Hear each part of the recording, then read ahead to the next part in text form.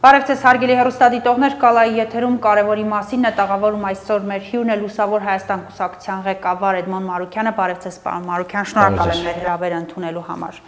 Գիտեմ, որ դիմել եք տարբեր միջազգային կառույցների մեր գերիներին հետ վերադարձնելու խնդրով ես կխնդրեմ ներկայացնել ինչ որ արձագանք ստացվել է թե ոչ եւ ինչ լծակներ կան վերջին հաշվով Ադրբեջանի վրա ճնշում կործադրելու, որ เป զի տղաները հնարավորինս շուտ ու անվնաս կարողանան վերադառնալ Հայաստան։ Տեսեք, մի քանի ուղությամբ մենք աշխատանքներ ենք տարել։ Առաջին ուղությունը դա ռազմագերիների իրական թիվի իմանալն է, քանի հոգի են, որտեղ են պահվում եւ թե արդյոք միայն ռազմագերիներ են, թե նաեւ քաղաքացիական անձինք գերիներ կան, որովհետեւ մենք նաեւ տեղեկություններ ունենք, որ քաղաքացիական անձինք նույնպես կան։ Ընդ որում, մինչև այս պատերազմը պահվող Նաև մինչև այս պատերազմը պահվող մենք գիտենք Գորիսի հարակից գյուղից, որ հովիվեր ընկել գերի, այսինքն նրանք քաղաքացիական անձինք են ըստ կարգավիճակի։ Եվ հետեւաբար մենք այս խնդիրը պետք է լուծենք փաթեթով, մի մեծ փաթեթով պետքա լուծվի, այսինքն բոլորը պետք է մեզ փոխանցվեն, մենք էլ ում ունենք, բոլորին փոխանցենք իրենց։ Բնականաբար իրենք ավելի շատ ունեն, քան մենք, այդպես է ստացվել, այս պայն եղած ինֆորմացիայով։ Եվ մենք դիմել ենք Եվրոպայի խորհրդի խոշտանգումների կանխարգելման կոմիտե, որը 47 անդամ պետություններ իրավունք ունի մուտք գործել բոլոր բանտերը բոլոր փակ հաստատությունները եւ կապ չունի պատերազմի արդյունքում է անձը հայտնվել փակ հաստատությունում, թե ուղղակի կալանավորված անձ է տեսնել պահման պայմանները, իմանալ նրանց քանակը, քանի մարդ են, որտեղ են պահվում եւ արդյոք նրանք վատ վերաբերմունքի արժանացել են թե ոչ։ Այսինքն ես պահանջել եմ անհապաղ այց, ad-hoc visit, որը ըստ էության հիմա ընթացքի մեջ է։ Երկրորդ ուղությունը դիմել ենք ՄԱԿ-ի գլխավոր քարտուղարին, Կարմիր խաչի գլխավոր քարտուղարին, Եվրոպայի խորհրդի գլխավոր քարտուղարին, պահանջով, որ Ադրբեջանին ցուցում իջեցնեն, որ իրենք իրավունք չունեն որևէ ռազմական շքերթի ժամանակ օգտագործել հայ ռազմագերիներին որպես շքերթում քայլող անձինք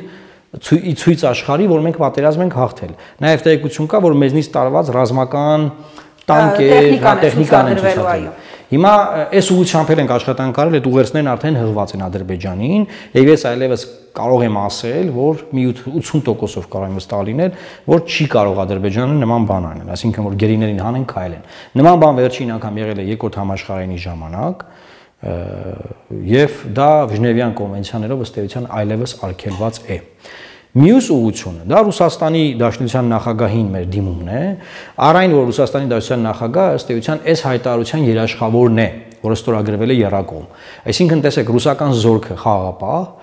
եւ գեներալիտետը հիմա Հայաստանում հետևում է, որ ամեն ժամկետին համապատասխան մեր զորքը դուրս գա կամ մեր գյուղացիները դուրս գան տվյալ գյուղից, հա, որտեղ որ, որ պետքա դուրս գանք ըստ Փաշինյանի ասած GPS-ի քարտեզի։ Հիմա Մենք պնդում ենք, որ Ռուսաստանի նախագահը ունի այստեղ պարտականություն, առայն որ եթե հետևում են, որ ով որտեղից իրებ դուրս գա, ճիշտ է ժամկետ չեն նշել այդ փաստաթղթի մեջ ռազմագերիների փոխանակման առումով, բայց նաև պարտադրի Ադրբեջանին, որ ռազմագերիներին արագ ընթացակարգով հանձնեն։ Մեր դիումը այս մասով նաև ՌԴ նախագահին է գնացել Եվ ես կարծում եմ, այս էլ կարևոր հանգամանք կա, որ Ռուսաստանի դաշնության դերը շատ մեծ է այս մասով։ Օրինակ ես չեմ ասում, չէի ասի թե օրինակ Ֆրանսիայի նախագահ Մակրոնը կարող է ազդել, հարաբերությունները շատ վատ են։ Չգիտեմ, Միացյալ Նահանգների նախագահին որ դիմենք հիմա է նախագահ։ Տրամպը լիազորությունները պետք է հանձնի, բողոքում է, Բայդենը նոր ընտիրն է, բայց չի ստանձնել։ Հետաբար ԵԱԿ Մինսկի խմբի համանախագահների մեջ ՌԴ նախագահն է այս բանը, որ գործուն քայլեր կարող է անել։ Էս էլ է սուղությամբ։ Մնացած մասով, օրինակ մենք տեղեկություն չունենք, կառավարության միջգերատեսչական այդ հանձնաժողովը գերիների փոխանակման բան, ի՞նչ է անում, չկա տեղեկություն։ Չկա տեղեկություն վարչապետը ինչ է անում այս մասով, էլի չկա տեղեկություն։ Այսինքն մենք որպես ընդդիմադիր ուժ այն ինչ որ արել ենք, սանից առավել սահմանադրական կամ այլ պետաիշխանական լիազորություններ մենք չունենք։ Այսինքն մենք ինչ ունենք, այդ բոլորը կիրառել ենք այլևս։ Փաշինյանի Կիրակնորիա գրառմանը կանդրադառնանք, սակայն գերիների մասով ինքը ասում է, որ հարցի ձգձգումը հնարավոր Ադրբեջանը տեսնում է, որ հարցի ձգձգումը հնարավորություն է տալիս, որ Հայաստանի ներսում հակադրությունը խորանա, նույնիսկ բախումներ սկսվեն, որոնց ինչպես ասում է մինի տարբերակները եղել են, ու նա ասում է, որ եթե Ադրբեջանի փոխարեն կարագացնեին արդյոք իհարկե չեն արագացնի։ Այստեղ տրամաբանական է արդյոք այս բացատրությունը, որ Ադրբեջանը շահագրգիռ չէ, որ เป զի Հայաստանի ներսում այսպես բախումներ ու անկայունություն լինի։ Մինչ օրս ես ռազմագերիների խնդիրը որևէ ձևով չեմ շահարկել իշխանապողության հարցում եւ հիմա էլ չեմ շահարկում եւ ես կարծում եմ որ ընդհանրապես որևէ մեկը չպետք է շահարկի Եվ այդ թվում նաև վարչապետ Նիկոլ Փաշինյանը, որովհետև հենց հիմա ինքն է շահարկում ռազմագերիների հարցը, որ այս սուս մնացեք, որ մեր գերիներին արագ տան, դա շանտաժ է։ Ինքը ամբողջ կյանքը շանտաժ արել, հիմա էլ շարունակում է ինձ շանտաժ անել։ Դա սովորական, ասենք, բան, ասենք, ասենք թերթի խմբագիրը կարող է տենց բան երևի իրան թույլ տա կամ թույլ չտա, էլի, բայց երկրի վարչապետը ոչ։ Հիմա բոլոր պահանջները, որը կապված է ռազմագերիների հետ, մեր կողմից չի ուղեկցվում վարչապետի հերանալու պահանջի հետ Դրանք առանձին հարցեր են։ Եվ հետեւաբար, քանի դեռ ինքը վարչապետն է, ինքը պետքա դրանով զբաղվի։ Որևէ մեկը չի ասում, թող թողեք ես գամ վարչապետ լինեմ, ես գերիներին հետ բերեմ։ Ես այդ ձևի տեքստ ոսմեկի ոչ մեկից չեմ լսել։ Այս հարցում միասնություն կա հենց։ Հա հիմա մտավորականները երթեին անում քիչ առաջ բան, այդտեղ քաղաքական պահանջերի չկա։ Այսինքն ինքը, հենց ինքը հիմա շանտաժ անում եւ շարքում է գերիների հարցով, որ ցույց մի արեք։ Բայց գերիների հարցով որևէ քաղաքական ուժ ցույց չի արել։ Եվ այս առումով կրկնում եմ, ով էլ որ կլինի երկրի ղեկավարը պետքա դրանով զբաղվի։ Այս պահին ինքն է դեռ, ինքը պետքա զբաղվի։ Ոչ թե հիմա դրան մասին գրառում անի, ավելին ասեմ, այդ իր գրառումով ինքը հուշել է Ադրբեջանին, որ գերիներին ուշ տվեք, որ ստեղ խաղ լինի։ Ինչ անշան, ինքը ինչա դա գրել։ Գրել այսինքն ասում է դուք Ադրբեջանի տեղը լինեիք, ինչ կանեիք։ Չի կարելի նման բաներ անել։ Ընթակառակը ինքը պետքա ասի, լավ, պարտվել ենք, պարտվել ենք։ Ստորագրել եմ այդ հայտարարակ հայտարարությունը, ստորագրել եմ, բայց Վլադիմիր Պուտին, Իլհամ Ալիև, չգիտեմ ով, ում դիմի, հա եկեք ես մեր ռազմագերիներին տվեք եղբայր, հիմա պարտվել ենք, հա դուրս ենք գալիս Քելբաջարից, Բերձորից, չգիտեմ որ գյուղից, եսիմ ինչ, բայց ռազմագերիներին տվեք, ինքը պետք է դրանով զբաղվի։ Գրառումները հիմա իր գործը չի։ Այդ մեղա այդ բանը ինքը կարա մեր օրագիր գրի, մեղավորի օրագիրը, որ անդադ արդարանում է ասենք էլի այդ արդարացման բանի մեջ է դրա ժամանակը չի ամեն մի րոպեն ամեն մի ժամ ամեն մի օրը մեզ համար խնդիր է ռազմագերիների հետ կապված դիակների փոխանակումը առանձին պրոցեդուրա է դա էլ արվում դա էլ լուրջ խնդիր բայց գոնե նրանք ովքեր որ դեռևս կենթանի են եւ գտնվում են ադրբեջանական բանտերում նրանց շուտ կարողանանք բերել որ նրանց կյանքին վտանգ չսպառնա, նրանց առողջությանը վտանգ չսպառնա։ Էս է մեր մտահոգությունը։ Գրառման մեջ եւս մեկ հարցի անդրադառնանք, նախ խոսում է Կազանի մասին, ասում է, որ 2011 թվականին կար պայմանավորվածություն 7 շրջանները հանձնելու մասին, հետո ասում է, որ ցանկացած դեպքում էլ իրեն կոչելու են դավաճան, եթե համաձայնվեր առանց պատերազմի հանձնել ազատագրված տարածքները։ Տեսեք, ես չեմ մտնելու այդ բանավեճի մեջ, որովհետև այդ բանավեճը իր ունեցած նախկին իշխանության հետ է։ Մենք ոչ երբեք իշխանություն չենք եղել, ոչ Կազանի փաստաթուղթն եմ ես բանակցել, ոչ դա ինձ հետո Լավրովի պլանը, ոչ էլ Մադրիդյանն եմ ես բանակցել։ Իրար հետ իրանք վիճում են, թող ինչ ուզում է իրար հետ անեն։ Ես մի բան գիտեմ, որ վարչապետը շանս է ունեցել մինչև կռիվը խնդիրը լուծելու, վախեցել է որ իրանք ասեն Նիկոլ Դավաճան, բայց դրա արդյունքում չէին ունենա հազարավոր զոհեր, չէին ունենա այն արհավիրիկն ու աղետը, որ այսօր ունենք։ Պարզա իրան ասելու են Նիկոլ Դավաճան, դա այդտեղ ես համաձայնում եմ։ Հա, բայց բայց հիմա էլ են ասում Նիկոլ Դավաճան եւ ինչ, եւ հազարավոր զոհեր, ռազմագերիներ, տնտեսությունը խարխլված, բանակի ես իմ քանի տոկոսը ջախջախված, այսինքն ո՞րն է ընտրությունը։ Դրանից հետո պատերազմի ընթացքում նա էլի է շանսը ունեցել կռիվը կանգնեցնելու եւ էլի գործունջանքեր չի գործադրել անհասկանալի իր բանակցություններով։ Վլադիմիր Պուտինը մի բան ասում, ինքը մի բան ասում։ Եվ հետեւաբար ես չեմ ուզում մտնել այդ մադրիդյան, այսինքն ինքը անընդհատ էլի այդ արդարացման պրոցեդուրան է։ Մի օր մեր առաջարկով կստեղծի, մենք ասել ենք, պարիտետային քնիչ հանձնաժողով, որ ամեն ուժից մեջը մարդիկ լինեն, ոչ թե ազգային ժողովի քնիչ հանձնաժողով, պարիտետային։ Եվ այդ հանձնաժողովը կքնի ով, երբ, ինչ, ինչի համար եւ ով դատվելու է կդատվեն։ Այդ ցուցմունքները հիմա կարիք չկա ցուցմունքներ տալու։ Հիմա ամեն առավոտ արթնանում ենք ինչ որ նոր գրառում, ինչ որ նոր բանի մասին, որ այս ինչ զանգեց, ինչ ինչ դրա ժամանակը չի ընդհանրապես։ Դրա ժամանակը չի։ Ինչի՞ ասում, արդարացում են, տեսեք, Լևոն Տեր-Պետրոսյանի, Քոչարյանի մասին ասաց, որ բոլորին մեղադրում է, այո, բոլորին մեղադրում է։ Մեղադրում է Ռոբերտ Քոչանին, Լևոն Տեր-Պետրոսյանին, մեզ, ԲՀԿ-ին, արտախորհրդային, բոլորին մեղադրում է, բացի ինքը Իրանից։ Եւ այդտեղ նաեւ ուրիշ հանգամանք կա։ Ինքը այդ իր գրառումով ցույց է տալիս, որ ինքը պետություն ղեկավարելու համար անհրաժեշտ կամային հատկանիշներ չունեցող անձնավորություն է։ Ինչու, որովհետև եթե անձը մտածում է իր անձնական PR-ի մասին եւ ոչ պետական շահի, նա չի կարող այդ գրասենյակը զբաղացնել, այդ աթորը զբաղացնել։ Եվ ինքը այդ իր գրառումով ցույց է տալիս, որ ինքը այդ կամային հատկանիշները չի ունեցել։ Երբ որ մարդիկ ընտրում են ընտրովի պաշտոնյա, կլինի դա ավականի, քաղաքապետ, падգամավոր, վարչապետ, հա, ինչ էլ որ կլինի կամ նախագահ, ընտրում են նրա համար, որ իրենց փոխարեն այդ որոշումները կայացնի, այդ բար դժվար որոշումները կայացնի։ Եվ երբ որ դու ընտրվում ես վարչապետ, բայց դու այդ որոշումները կայացնելու ծրագիրը չունես, տեսլականը չունես, կամային հատկանիշներն էլ չունես։ Եվ այդ որոշումը կայացնես դու գասարցնես, հա ժողովուրդ ինչ անեմ։ Էլի իմաստը ո՞րն է որ քեզ։ Կոպիտ կհնչի, բայց նշվում է որ գցել են իրենց գրպանը 2018-ին։ Անկամ եթե գցել են, ես այդ բանավեճի մեջ չեմ մտնում։ Կարող ա գցել են եւ ինչ, այսինքն դու ակնհայտ, տեսեք Հայաստանի ղեկավար ընտրվելիս Նիկոլ Փաշինյանը 2018 թվականին պետքա գիտակցեր, որ բացի Կարեն Կարապետյանի աճող տնտեսական ցուցանիշներից, հա, վատ չէր տնտեսությունը, լավ էր, աճում էր։ Բացի Դաչայից, բացի Mercedes-ից, բացի թիկնապահներից եւ բացի այլ պրիվիլեգիաներից եւ ժողովրդի աստվածացնող սիրուց կա մի հատ ուրիշ խնդրեմ, որ ինքը դա էլ հետը ժառանգում է։ Էդ էլա ժառանգում, բայց հատ Արցախի հարցն էլա ժառանգում, որտեղ կարգավորված չի։ Եթե այդ մարդը այդքանը չգիտակցել, այդ ստանձնելուց, ուրեմն կրկնում եմ, անգլերենում լավ բան կա, ասում է unfit for office։ Այսինքն չի կարող նախագահ աշխատելու համար համապատասխան ունակություններ չունի։ Ժամանակին ընդդիմությունը Ամերիկայում Տրամպին էր ասում, ասում էր he is unfit for office։ Հիմա ինքը unfit for office-ա եղել, իսկ սկզբանե եւ կա հիմա էլ։ Այսինքն ասում են ինչ, ասում են ինքը բանը պետությունը ղեկավարելու պաշտոնի համար համապատասխան գիտելիք, ունակություններ, բան չգիտի, չունի։ Հիմա դա արձանագրվել է, ճիշտ է, post factum արձանագրվել, այլևս արհավիրքի մեջ ենք ընկել, նոր արձանագրվել։ Բայց այդ իր գրառումներով ինքը անընդհատ հիմնավորում է դա։ Ինչ անշանակում ինձ կասեին Նիկոլ Դավաճան։ Երկրի ղեկավարը երկիրը ստանձներ, կասեն, բա ինչ ասես կարող ասել։ Կամ որ մենք ազգային ժողովի ամբիոնից ասացինք, հենց այս պահին մենք կարող ենք կանգնեցել եւ չեղավ մեկը, որևէ քաղաքական ուժ, որևէ քաղաքացի, ով կասեր, որ այո, կանգնեցել պատերազմը։ Այդտեղ մանիպուլյացիա կա, իմ ելույթում մանրամասն անդրադարձել եմ, ինքը ասում էր, որ Ադրբեջանը պահանջում է ամբողջ Արցախը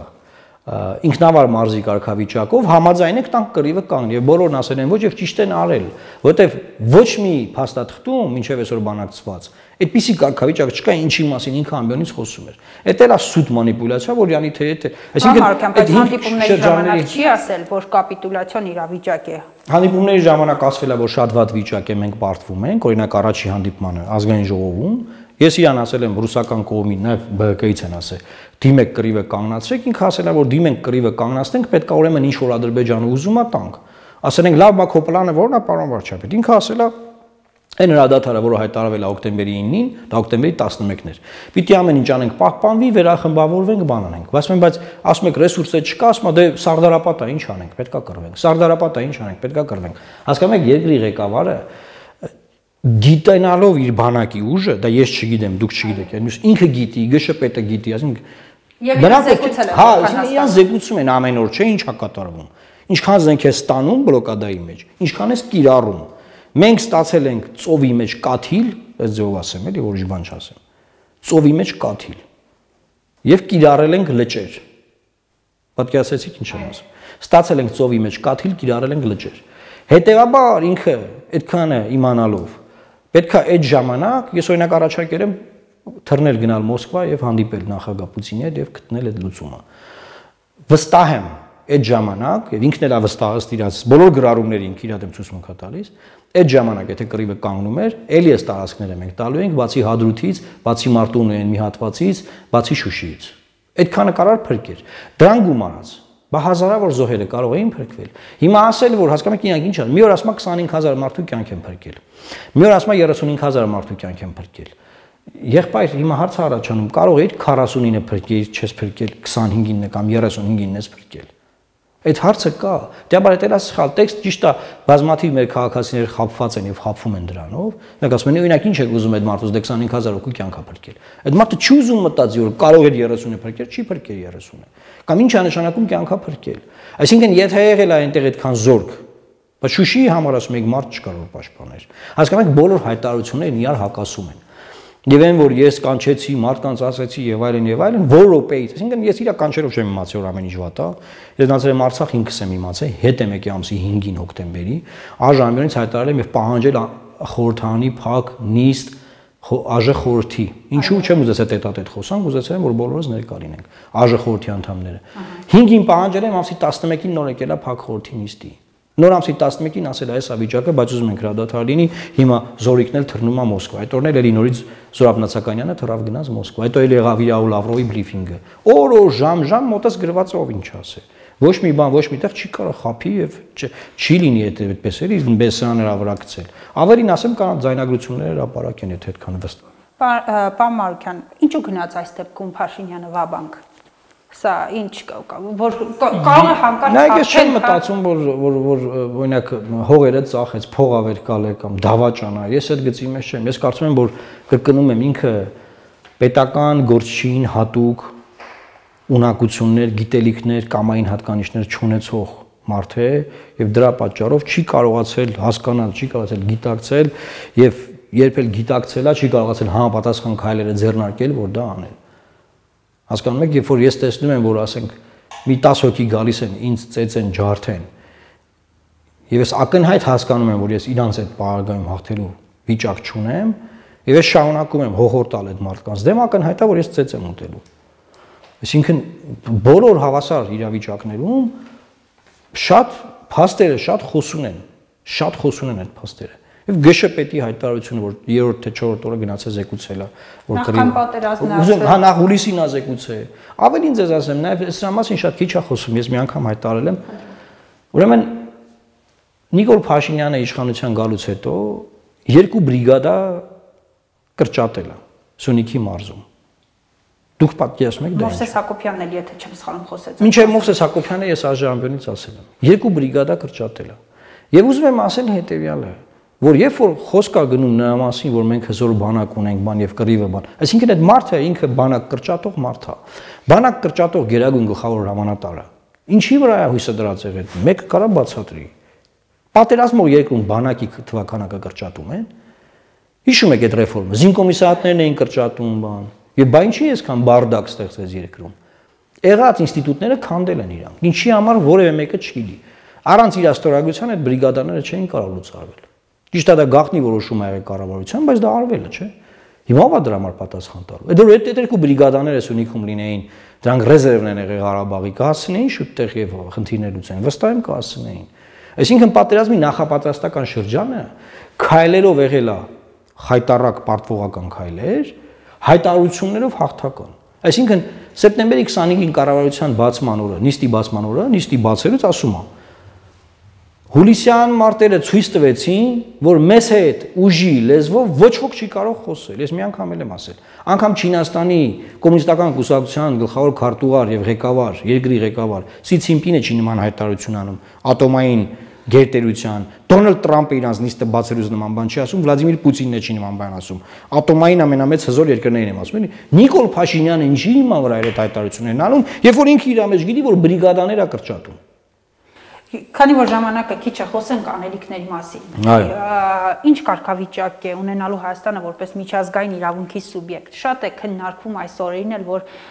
Հայաստանը եթե վայելում էր հեղինակություն, աշխարհում ուներ իր իմիջը, դա որպես Արցախի անվտանգության երաշխավոր էր, դա որպես հաղթած պետություն էր, նաև ինչ է լինելու հիմա այս պարագայում, այս կապիտուլյացիոն Իրավական առումով Հայաստանի միջազգային իրավասուբյեկտությունը որևէ բան չի եղել։ Հայաստանը Հայաստան է, Հայաստան ՄԱԿ-ի լիարժեք անդամ, Եվրոպայի խորհրդի լիարժեք անդամ, ԵՀԿ-ի լիարժեք անդամ, այսինքն Հայաստանի Հանրապետության ոչ դրոշին,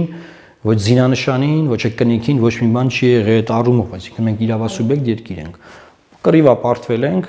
Այսինքն նաև այստեղ էլ սխալ բան կա, որ այդ գրիվը չպետք է այնպես լիներ, որ մենք ենք պարտվել։ Պետք է այնպես լիներ, որ Ղարաբաղի պաշտպանության բանակն է պարտվել։ Փաշինյանը առաջին օրից ամեն ինչ այլ որ Հայաստանը ներգրավի այս process-ի մեջ։ Պաշտոնապես ռազմական դրությունը հայտարարելով, որը կյանքում չի եղել Հայաստանում, հասկանում եք։ Այսինքն չպետք է ընկալվեր, որ Հայաստանն է պարտվել։ Միգուցե այլ կերպ ընկալվեր, բայց ոչ պաշտոնապես։ Բայց իստորագրությամբ ինքը դա ընդունել է որ ինքը զորքեր ունի ես որպես երկիր եւ այդ զորքերը հանում է։ Ինքը ստորագրությամբ այդ ամեն ինչը ընդունելա եւ իրավական հիմքեր ստեղծել, որ ապագայում մեզ դատի տան Ալիևները։ Բայց ուր հետ գամ հարցին։ Հայաստանը պետքա հիմա ոդքի կանգնի եւ շարժվի առաջ դեպի հզորանալ։ Ուրիշ տարբերակ Հայաստանը չունի։ Եվ այո պարտությունը, այո ջախջախվել ենք, բայց մենք կարող մի բան ասենք։ Հզոր կրվող բանակ ենք ունեցել։ Այդ բանակը կրվելու եթե ունեցել է 10 օրվա ռեսուրս, կրվել է 44 օր Հասկանում եք, մեր զինվորները նրանք սրբություններ են, մեր բանակը սրբություն է, մեր բանակը իր գործը ունեցած ընթացքում ոնց ուզում ա չի կարող վարկաբեկի։ Նախ դա դավաճանություն է բանակը վարկաբեկել է